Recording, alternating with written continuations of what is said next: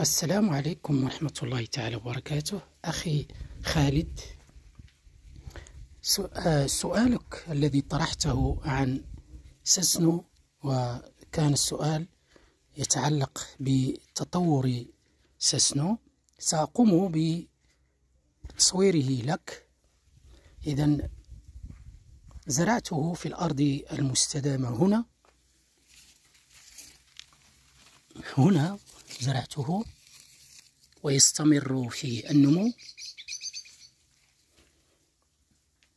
وهي لا توجد شتلة واحدة وإنما شتلات كثيرة سأقوم فيما بعد بتفريقها عند سقوط أوراقها في الفصل البارد.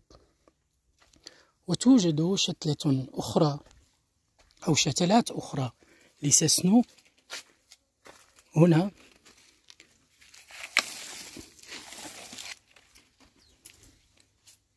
وتستمر كذلك في النمو وسأقوم بزرعها في الأرض المستدامة فيما بعد. تلاحظ بأن ليست شتلة واحدة هناك شتلتين.